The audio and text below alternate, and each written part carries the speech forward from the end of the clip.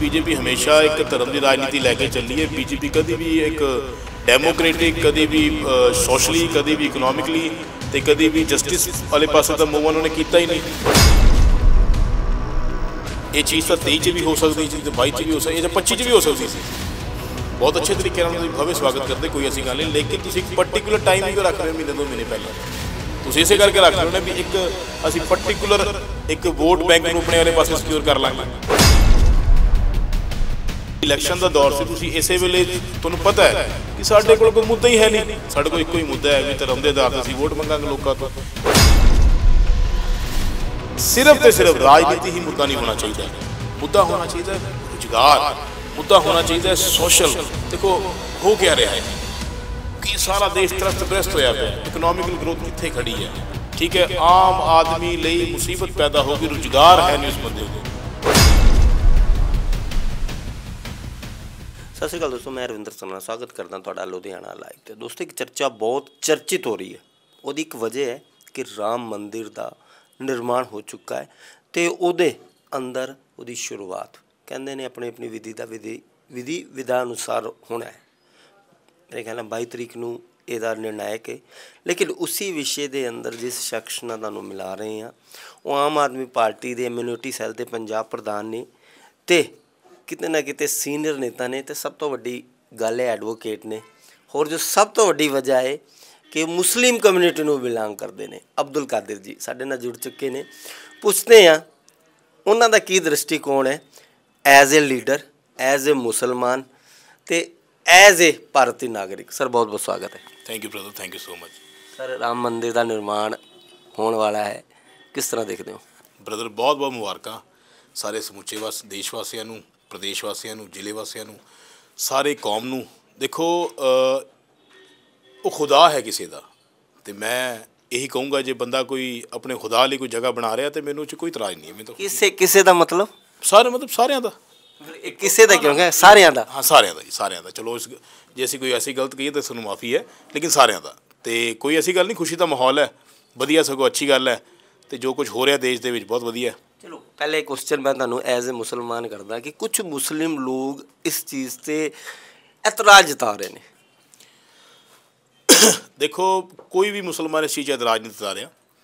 ਲੇਕਿਨ ਜੇ ਤੁਸੀਂ ਕਹੋ, ਮੈਂ ਇੱਕ ਹੋਰ ਗੱਲ ਕਰਨਾ ਚਾਹੁੰਦਾ ਵੀ ਤੁਸੀਂ ਰਾਮ ਰਾਮ ਮੰਦਿਰ ਦੇ ਨਾਲ ਨਾਲ ਇੱਕ ਦਰਗਾਹ ਵੀ ਬਣਾ ਲੈਂਦੇ, ਮਸਜਿਦ ਵੀ ਬਣਾ ਲੈਂਦੇ, ਇੱਕ ਚਰਚ ਬਣਾ ਲੈਂਦੇ, ਕਿਉਂਕਿ ਜਗ੍ਹਾ ਬਹੁਤ ਸੀ ਆਪਣੇ ਕੋਲ।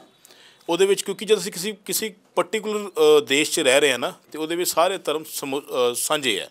ਸਭ ਦਾ ਸਤਿਕਾਰ ਕਰਨਾ, ਸਭ ਦਾ ਆਦਰ, ਮਾਨ, ਸਨਮਾਨ ਕਰਨਾ ਕੋਈ ਖਫਾ ਨਹੀਂ ਹੈ ਕਿਸੇ ਤੋਂ।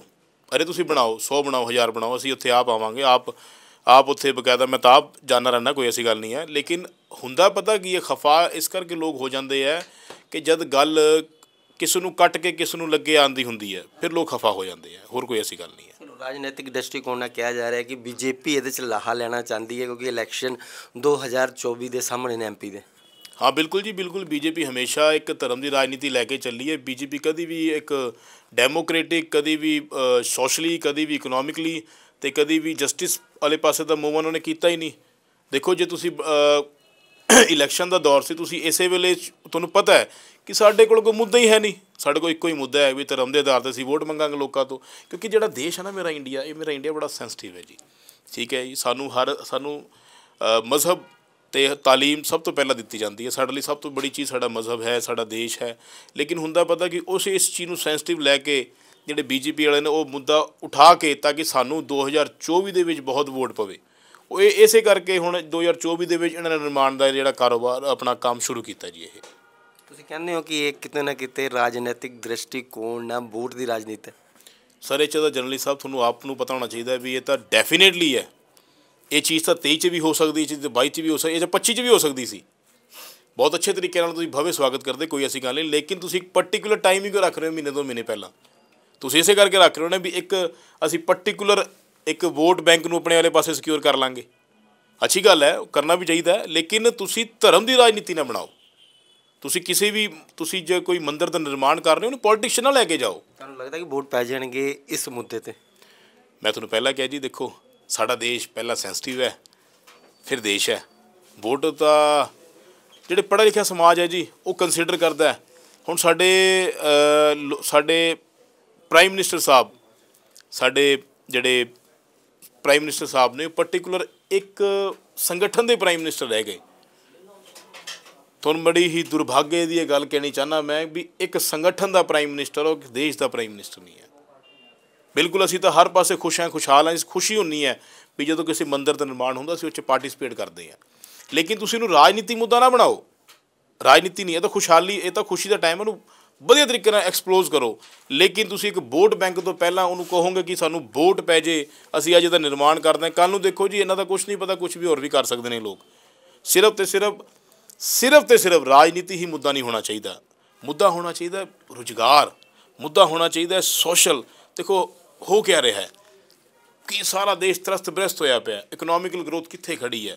ਠੀਕ ਹੈ, ਆਮ ਆਦਮੀ ਲਈ ਮੁਸੀਬਤ ਪੈਦਾ ਹੋ ਗਈ, ਰੁਜ਼ਗਾਰ ਹੈ ਨਹੀਂ ਉਸ ਬੰਦੇ ਕੋ ਪੜ੍ਹਾਈ ਹੈ ਨਹੀਂ ਉਸ ਬੰਦੇ ਕੋ ਜਿਸ ਦੇਸ਼ ਦੇ ਵਿੱਚ ਭੁੱਖਮਰੀ ਦੀ ਸਥਿਤੀ ਹੋਵੇ, ਜਿਸ ਦੇਸ਼ ਦੇ ਵਿੱਚ ਬਕਾਇਦਾ ਲੋਕਾਂ ਕੋ ਰੁਜ਼ਗਾਰ ਨਾ ਹੋਵੇ, ਭੁੱਖਮਰੀ ਸਥਿਤੀ ਤਾਂ ਖੈਰ ਨਹੀਂ ਹੈ, ਲੇਕਿਨ ਆ ਜਾਏਗੀ, ਮੈਂ ਇਹ ਗੱਲ ਕਹਿਣੀ ਚਾਹੁੰਦਾ। ਇੱਕ ਪਾਰਟਿਕੂਲਰ ਅਦਾਰਿਆਂ ਨੂੰ ਤੁਸੀਂ ਸਪੋਰਟ ਕਰ ਰਹੇ ਹੋ, ਇੱਕ ਪਾਰਟਿਕੂਲਰ ਇਨਸਾਨ ਨੂੰ ਤੁਸੀਂ ਸਪੋਰਟ ਕਰ ਰਹੇ ਹੋ ਤੁਸੀਂ ਦੇਖੋ ਹਰ ਧਰਮ ਨੂੰ ਲੈ ਕੇ ਚੱਲੋ ਹਰ ਮਜ਼ਹਬ ਨੂੰ ਲੈ ਕੇ ਚੱਲੋ। ਭਾਰਤ ਬਹੁਤ ਖੁਸ਼ ਹੈ ਕਹਿ ਰਿਹਾ ਕਿ ਉਸ ਦਿਨ ਅਸੀਂ ਦੀਵਾਲੀ ਮਨਾਵਾਂਗੇ ਸਾਡੇ ਰਾਮ ਲਲਾ ਆ ਰਹੇ ਨੇ ਬੜੀ ਖੁਸ਼ੀ ਹੈ ਮਤਲਬ ਭਾਰਤ ਦੇ ਅੰਦਰ। ਨਹੀਂ ਨਹੀਂ ਸਾਡੇ ਅੰਦਰ ਵੀ ਖੁਸ਼ੀ ਹੈ ਮੇਰੇ ਦੋਸਤ ਅਸੀਂ ਕਿਹੜਾ ਕਿ ਨਾਰਾਜ਼ ਹਾਂ ਅਸੀਂ ਬਹੁਤ ਖੁਸ਼ ਹਾਂ।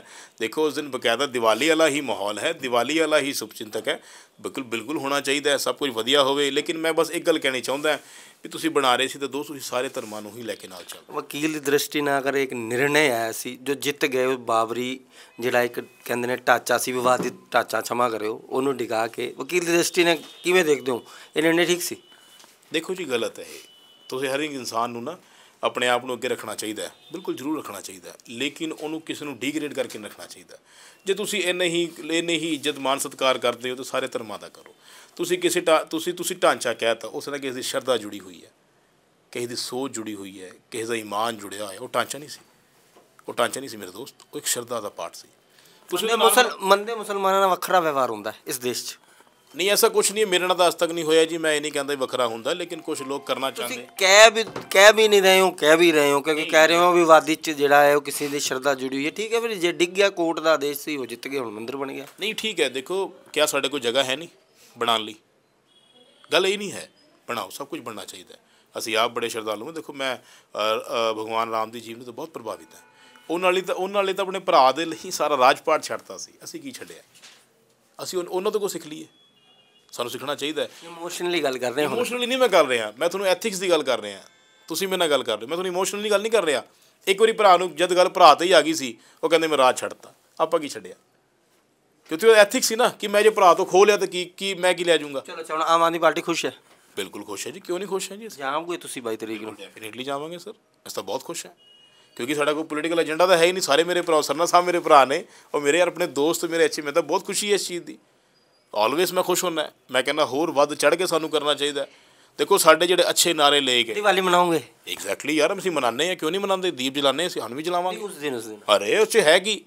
ਆਪਾਂ ਦੇਖੋ ਜਨਰਲੀ ਸਾਹਿਬ ਤੁਸੀਂ ਸਾਡਾ ਸਤੰਭ ਹੋ ਅਸੀਂ ਉਸ ਚੀਜ਼ ਨੂੰ ਇੰਨਾ ਪ੍ਰੋਵੋਕ ਨਹੀਂ ਕਰਨਾ ਕਿ ਲੋਕੀ ਦੂਜੇ ਨੂੰ ਮਾੜਾ ਕਹਿੰਦੇ ਤਾਂ ਬਹੁਤ ਵਧੀਆ ਯਾਰ ਦੀਵਾਲੀ ਸਭ ਦੀ ਸਾਂਝੀ ਹੈ ਈਦ ਸਭ ਦੀ ਸਾਂਝੀ ਹੈ ਕ੍ਰਿਸਮਸ ਸਭ ਦਾ ਸਾਂਝਾ ਹੈ ਗੁਰਪੁਰਬ ਸਭ ਦਾ ਸਾਂਝਾ ਹੈ ਅਸੀਂ ਮਨਾਉਂਦੇ ਹਾਂ ਸਾਨੂੰ ਅੱਜ ਤੱਕ ਪਤਾ ਨਹੀਂ ਲੱਗਿਆ ਨਾਲ ਅਸੀਂ ਪੰਜਾਬ 'ਚ ਬੈਠੇ ਹਾਂ ਅਸੀਂ ਹੈਦਰਾਬਾਦ ਦੇ ਐਮਪੀ ਕਿੰਤੂ ਪਰੰਤੂ ਕਰਦੇ ਨੇ ਹਰ ਇਨਸਾਨ ਦੀ ਆਪਣੀ ਸੋਚ ਹੈ ਮੈਂ ਨਹੀਂ ਕੁਝ ਕਹਿ ਸਕਦਾ ਕਿਸੇ ਬਾਰੇ ਕੋਈ ਮੇਰੀ رائے ਨਹੀਂ ਹੈ ਉਹਦੀ ਪਰਸਨਲ ਹੈ ਮੇਰੀ ਪਰਸਨਲ ਹੈ ਮੈਂ ਤਾਂ ਕਹਿੰਦਾ ਖੁਸ਼ ਹੋਣਾ ਚਾਹੀਦਾ ਹੈ ਹਜੇ, ਹੁਣ ਜੋ ਪਾਰਟ ਹੈ, ਦੇਖੋ ਅਸੀਂ ਇਸ ਦੇਸ਼ 'ਚ ਰਹਿ ਰਹੇ ਹਾਂ, ਇਸ ਸਮਾਜ 'ਚ ਰਹਿ ਰਹੇ ਹਾਂ, ਹਿੰਦੂ, ਮੁਸਲਿਮ, ਸਿੱਖ, ਈਸਾਈ, ਮੈਨੂੰ ਨਹੀਂ ਪਤਾ। ਮੈਨੂੰ ਤਾਂ ਇਹ ਪਤਾ, ਡਾਕਟਰ, ਇੰਜੀਨੀਅਰ, ਵਕੀਲ, ਸਾਇੰਟਿਸਟ, ਹੈ ਨਾ, ਟੀਚਰ, ਪ੍ਰੋਫੈਸਰ, ਇਹ ਚੀਜ਼ ਮੈਂ ਜਾਣਦਾ ਜੀ। ਮੈਨੂੰ ਮੈਨੂੰ ਮੇਰੇ ਮੇਰੇ ਘਰਦਿਆਂ ਨੇ ਮੈਨੂੰ ਇਹ ਚੀਜ਼ ਸਿਖਾਈ ਹੈ, ਮੇਰੇ ਪ੍ਰੋਫੈਸ਼ਨ ਨੇ ਮੈਨੂੰ ਇਹ ਚੀਜ਼ ਸਿਖਾਈ ਹੈ, ਮੇਰੀ ਸੋਚ ਨੇ ਮੈਨੂੰ ਇਸ ਚੀਜ਼ ਸਿਖਾਈ, ਮੇਰੇ ਜੀਵਨ ਨੇ ਮੈਨੂੰ ਇਸ ਚੀਜ਼ ਸਿਖਾਈ ਹੈ। ਮੈਂ ਤਾਂ ਹਰ ਇਨਸਾਨ ਜਿਸ ਤੋਂ ਮੈਂ ਕੁਝ ਸਿੱਖ ਸਕਦਾ, ਮੈਂ ਤਾਂ ਗੁਣ ਲੈ ਲੈਂਦਾ, ਅਵਗੁਣ ਨਹੀਂ ਲੈਂਦਾ। ਇਹ ਤਾਂ ਫਿਰ ਮੇਰੀ ਸੋਚ ਹੈ ਨਾ ਜੀ। ਕਿ ਮੈਂ ਆਪਣੀ ਸੋਚ ਨੂੰ ਕਿੱਥੇ ਲੈ ਕੇ ਜਾਣਾ। ਮੰਨਦੇ ਹੋ ਕਿ ਰਾਜਨੀਤੀ ਹੈ? ਰਾਜਨੀਤੀ ਬਣਾਇਆ ਗਿਆ ਜੀ ਤੇ ਤੁਸੀਂ ਧਰਮ ਨੂੰ ਰਾਜਨੀਤੀ ਬਣਾ ਲਓਗੇ ਫਿਰ ਬਹੁਤ ਬੁਰਾ ਜੀ। ਮਿਹਰਬਾਨੀ ਜੀ ਕਿਤੇ ਨਾ ਕਿਤੇ ਗੱਲ ਕੀਤੀ ਸਾਡੇ ਨਾਲ ਖੁੱਲ੍ਹ ਕੇ ਗੱਲ ਕੀਤੀ ਹੈ। ਅਸੀਂ ਕਵਾਂਗੇ ਐਡਵੋਕੇਟ ਇੱਕ ਸਨਮਾਨਿਤ ਨਾਗਰਿਕ ਨੇ ਹਿੰਦੁਸਤਾਨ ਦੇ। ਨਾਗਰਿਕ ਪਹਿਲੇ ਨੇ ਮੁਸਲਮਾਨ ਬਾਅਦ ਚ ਨੇ ਹਿੰਦੂ ਬਾਅਦ ਚ ਨੇ ਸਿੱਖ ਬਾਅਦ ਚ ਨੇ ਈਸਾਈ ਬਾਅਦ ਚ ਨੇ। ਅਸੀਂ ਇੱਕ ਅੱਛੇ ਇਨਸਾਨ ਹਾਂ।